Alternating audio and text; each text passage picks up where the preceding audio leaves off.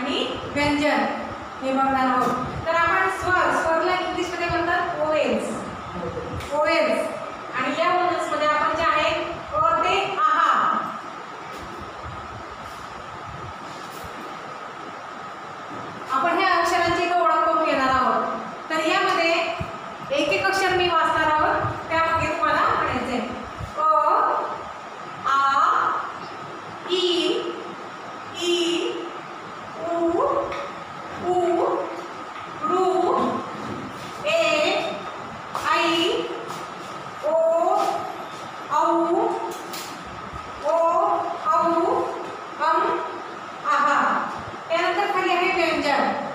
हे काय झाले? स्व आणि त्यानंतर हे व्यंग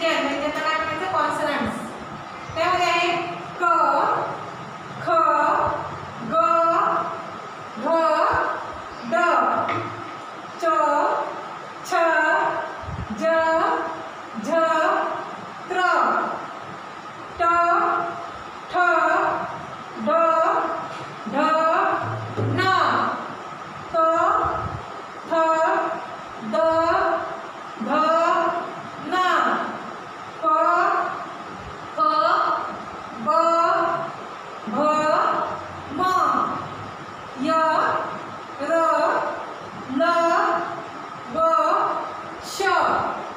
श स ह ळ क्ष ज्ञ हे काय झालं पूर्ण आपल्या मराठी याच्यामध्ये? पूर्ण स्वर आणि व्यंजन. या शब्दांमधूनच आपण काय करू शकतो की शब्द म्हणजे एक एक अक्षर तयार करू शकतो.